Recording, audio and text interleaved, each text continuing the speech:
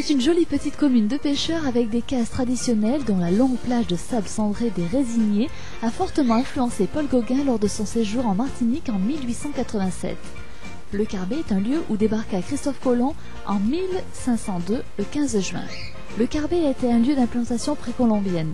Le premier site se trouvait sur le versant qui s'élève de la rive droite de la rivière du Carbet vers la Croix.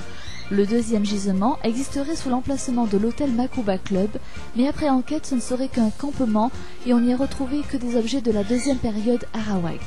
Le nom de la commune évoque la grande case centrale ou carbet des villages caraïbes. À visiter absolument la distillerie Naisson, le musée Gauguin, la galerie d'histoire et de la mer, le jardin des papillons et également le jardin de l'habitation de Lars Latouche.